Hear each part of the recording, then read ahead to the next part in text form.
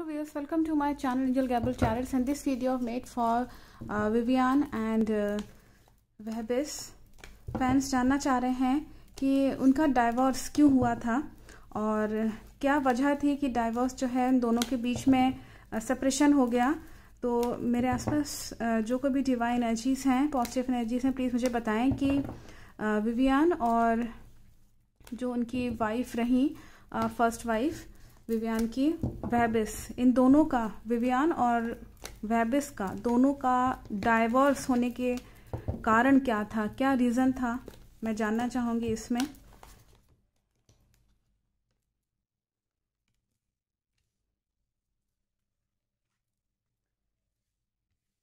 अगर मैं इन दोनों की बात करूँ तो ये दोनों में इसमें दिख रहा है दोनों ही अपनी किस्मत को बहुत ज़्यादा आजमाने की आ, कोशिश कर रहे थे। एक तरीके से आप कह सकते हैं कि क्योंकि चार साल बाद इन लोगों का डाइवोर्स हुआ है जहाँ तक मुझे मालूम है इन्फॉर्मेशन है गूगल पे भी है इसके बारे में। तो इसमें जो रीज़न दिख रहा है वो यहाँ ये है कि करियर अपना जो प्रोफेशनल लाइफ होता है ना जैसे कि आ, इसमें कहीं ना कहीं दिख रहा है कि दोनों जने अपनी लाइफ को प्रोफेशनल लाइफ को स्पेशली विवियान जो थे, वो बहुत ज़्यादा मतलब एक होता ना, परवा बहुत थी। बहुत ज़्यादा सोचना उसके बारे में। तो एक, कहीं ना कहीं विवियान की पर एक होता ना कि अंदर ही अंदर उनकी में, उनके में चिंता दिखा रहा है वरीज दिखा रहा है। जैसे होता है ना, इंसान सोचता बहुत है अपने करियर के बारे में प्रोफेशनल लाइफ के बारे में क्या होगा। तो हो सकता है कि आगे की प्लानिंग वो शादी को लेकर के थोड़ा सा इसमें, उसमें सक्सेसफुल नहीं हो पाए।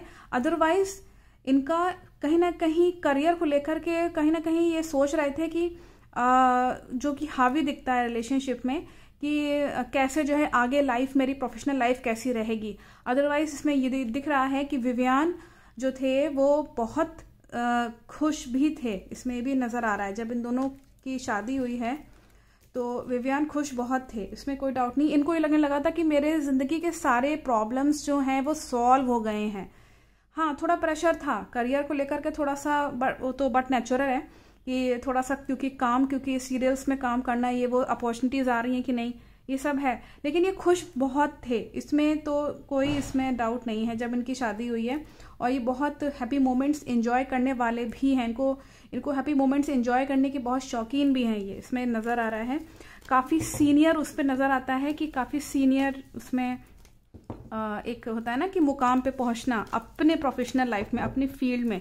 मेहनती हैं बहुत ही है इसमें नज़र आ रहा है।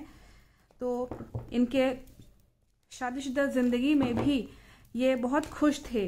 इसमें, लेकिन बाद में क्या हुआ है, एक बार मैं इसमें देखना चाहूँगी।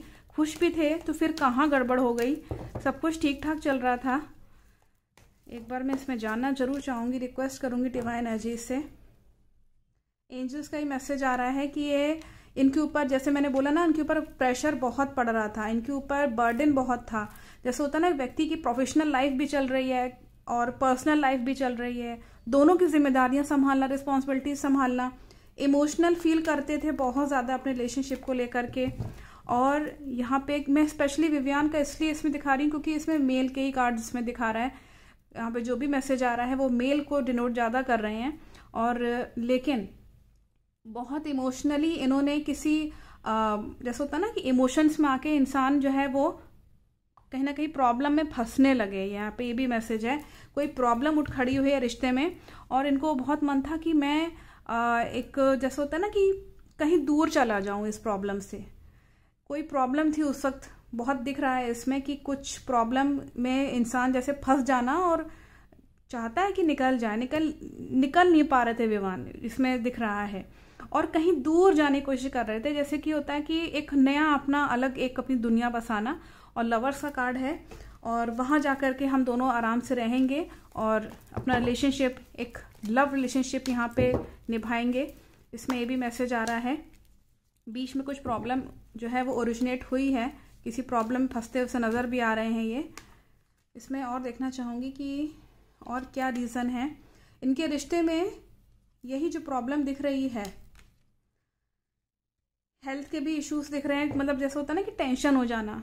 बहुत ज़्यादा टेंशन में आ जाना। इंसान जैसे टेंशन में आ जाता है। मैच्योरिटी कम रही रिश्ते में। रिश्ते में बहुत ज़्यादा इसी टेंशन के चलते। और इनको लगने लगा कि जैसे कि मेरे ऊपर जो है जैसे होता है ना कि रिश्ता जो है वो अब जैसे कि अटका अटका सा रहना।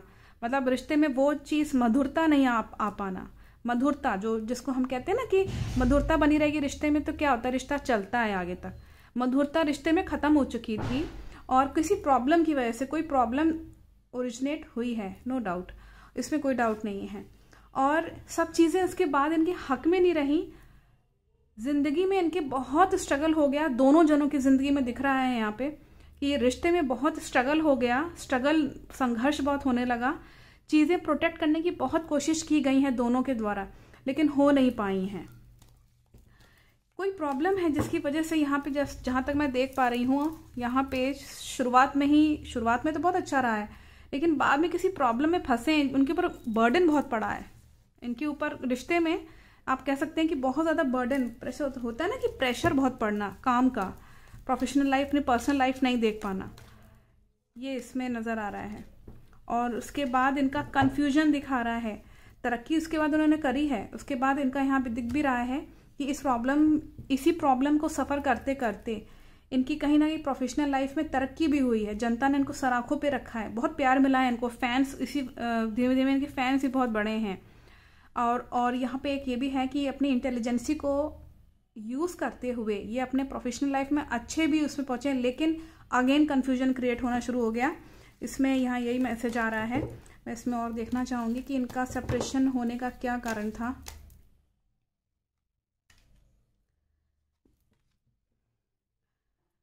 इनके फ्रेंड सर्कल में यहाँ दिख रहा है ये क्योंकि बहुत यहाँ पे इन्वॉल्वमेंट बहुत रहा है। फ्रेंड्स रिलेटिव्स का इन्वॉल्वमेंट बहुत रहा है रिश्ते में। दोनों के बीच में बंद कमरे में झगड़ा भी हुआ है। और चीज़ें जो हैं, जो ये चाह रहे थे दोनों जने कि हम एक अच्छे उस पर पहुँच पाएँगे, वो ड्रीम की ड्रीम ही रह गई हैं।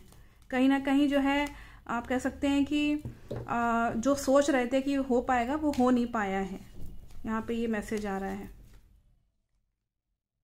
परेशानियाँ बहुत थी वरीस बहुत थी वरीस का यहाँ पे मैसेज आ रहा है और सब चीज़ें जो है वो ध्वस्त हो गई हैं बाद में और कुछ भी जो है वो एक साथ जैसे आप कह सकते हैं कि ये रिश्ता एक अफेयर की तरह ही रह गया।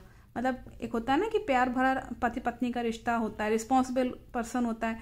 तो चीज़ें जो है कहीं ना कहीं दोनों जने हैंडल करते हैं। कहीं ना कहीं दोनों जने चीज़ें हैंडल नहीं कर पाए हैं। इसमें ये मैसेज है। और इसमें ये भी मैसेज है कि कुछ परिस्थितियाँ ऐसी बनी है कि बहुत ज़्यादा लोगों का इन्वॉल्वमेंट भी दिख रहा है। जैसे होता है ना कि आ, दो तीन लोग बहुत ज़्यादा घुस घुस के देखना कि नज़र भी लगती है कई लोग की ना कि रिश्ते में ये दोनों कितने अच्छे से रह रहे हैं ये वो। बहुत ज़्यादा इसमें नज़र भी लगी है किसी प्रॉब्लम में फंसे हैं जैसे कि मैं बता रही हूँ शुरुआत में। और इसमें यहाँ पे रिश्ता जो है वो सब कुछ ध्वस्त हो गया है रहा नहीं है रिश्ता। तो मुझे लगता है कि ये एंड है जो मैसेज में आ रहा है कि आखिरी में रिश्ता इनका रहा नहीं है। एक के बाद एक प्रॉब्लम इनके जो है लाइफ में रिलेशनशिप में उठती चली गई है। तो ये बहुत क्लियर मैसेज आ रहा है। जो लोग पूछ रहे थे कि इनके रिलेशनशिप में ये डाइवोर्स क्यों हुआ? देखिए डाइवोर्स इसलिए हुआ है, बहुत साफ़ है कि इन दोनों के रिश्तों में कहीं ना कहीं मधुरता ख़त्म हो चुकी थी और परेशानियाँ उत्पन्न हुई हैं ओरिजिनेट हुई हैं। और कई लोगों ने इनके ऊपर रिश्ते पे जो है बहुत सारी नज़र भी रखी है। और जैसे हम कह कह सकते हैं कि ब्लैक आई रखना, ये इसमें नज़र आ रहा है बहुत साफ़। इस वजह से इनका रिश्ता जो है, वो नहीं रहा। लास्ट में यहाँ दिख भी रहा है कि सब चीज़ें डैमेज हो गई हैं, काफ़ी बुरी तरह डैमेज हुई हैं और उसके बाद बीच में लड़ाई झगड़ा भी काफ़ी हुआ है मन मोटाव जिसको हम कह सकते हैं और काफ़ी तेज़ झगड़ा हुआ है। ऐसा ऐसा नहीं कि बहुत छो, छोटी मोटी तू तू मैं में हो गई हो। नहीं बिल्कुल भी नहीं। तो I think the message is very clear for all my fans thank you so much thank you so much